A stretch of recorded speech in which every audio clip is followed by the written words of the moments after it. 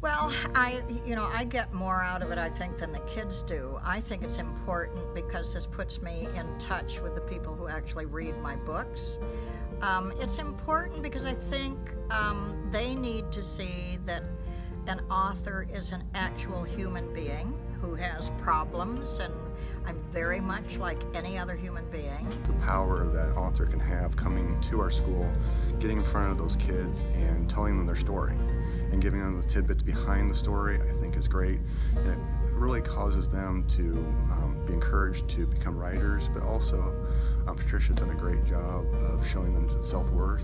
One of the things we're working on here is kindness, so her message today just fit right into um, what we've been talking about. So it's one of those things that gives them a real life experience to uh, see the author behind the book, you know, and the illustrator that I have that might be unique is that I'm also a learning disabled student who grew up.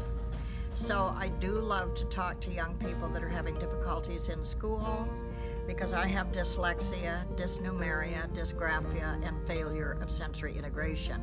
So when I was their age, I had a horrifying time. Couldn't read, couldn't write, mathematics were impossible. So um, I think it's good for them to see that somebody who had that many problems, this is what I do for a living. You know, when I was their age, if you had told me this is what I was going to do for a living, I wouldn't have believed you.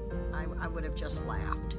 Power is just to show them self-worth. I mean, she's done a great job of telling the kids how they're important, and I think that's important right now uh, with kids with social media and things like that to understand that words do have power, either positive or negative